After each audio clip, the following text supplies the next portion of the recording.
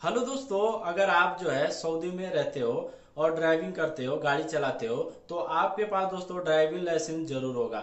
Saudi में बिना driving licence के कोई भी जो है गाड़ी नहीं चलाता है। सौ परसेंट में एक परसेंट जो व्यक्ति होगा, जो बिना ड्राइविंग लाइसेंस चलाता होगा गाड़ी। तो दोस्तों लाइसेंस पे जो है ड्राइविंग लाइसेंस पे अलग अलग कोड होता है, जिससे पता चलता है कि आपका जो है ड्राइविंग लाइसेंस जो है किस गाड़ी का है, कौन सा गाड़ी आप चला सकते हो, आपके लाइसेंस पे कोड लिखा रहता है। जैसे कि दोस्तों, इस तरीके से लिखा रहेगा, एक लिख के अरबी में कुछ इस तरीके से लिखा रहता है। तो इससे समझ लीजिएगा कि आपका लाइसेंस जो है मैनुअल का है ऑटोमेटिक गाड़ी चलाने के लिए।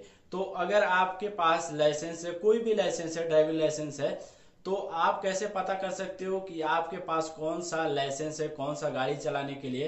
तो दोस्तों, आपको वीडियो के डिस्क्रिप्शन में एक लिंक मिलेगा। लिंक पे आप क्लिक कीजिए, वेबसाइट पे जाके आप पढ़िए कौन सा आपका ड्राइविंग लाइसेंस आपको पता चल जाएगा।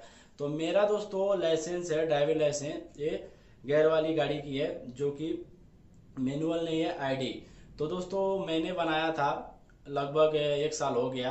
तो लाइसेंस सऊदी में बनाना बहुत ही आसान है दोस्तों।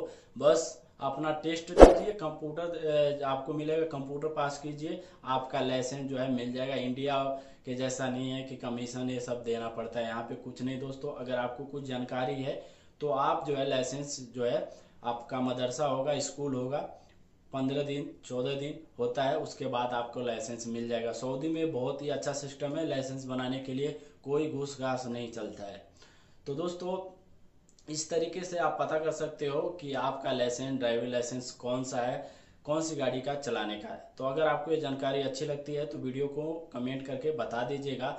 और ऐसी वीडियो देखने के लिए सऊदी के बारे में, चाहे इंडिया के बारे में, कहीं के बारे में आपको जानना है तो इस चैनल को सब्सक्राइब कर दीजिएगा। ऐसे इस वीडियो में बनाता रहता हूँ। तो दोस्तों एम करता हूँ वीडियो को समाप्त। फिर मिलेंगे कुछ नए वीडियो के साथ। जय हिंद, वंदे मातरम।